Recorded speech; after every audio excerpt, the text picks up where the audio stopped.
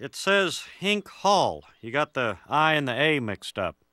This might make it difficult for me to get my restraining order lifted. I'll bet that really steams your beans, doesn't it, Hink? Ah, uh, yeah. Yeah, hey, you big chowder head, you spelled my name wrong. You're just a body with a big bowl of soup on it. Congrats, man. You passed the final test. Next up, Mr. Mangione. Chick Mangione. I'm not a chick, I'm a dude.